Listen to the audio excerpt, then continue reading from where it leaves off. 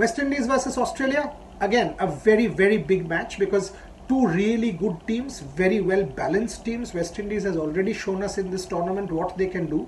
This is a very different side from the West Indies that we have seen in the recent past, where you know West Indies would just turn up and some of their big players will play franchise cricket, play Big Bash, play IPL. But when it comes to the West Indies, they will just not play. That's not going to happen in this World Cup. They finally put together a team that is their best side, and and, and they are competitive. I mean, think of the 420 that they got against New Zealand. Think of the kind of runs that they have scored, the kind of wickets, the way they blew Pakistan away. Oshane Thomas was brilliant.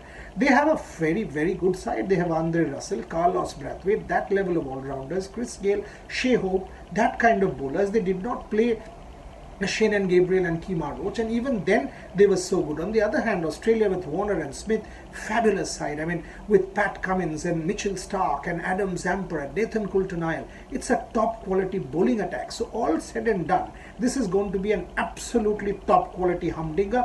Uh, selecting a, a, a favorite is difficult. I think Australia favorites, but West Indies for me, if they win, will give me tremendous joy. So let's put it like that.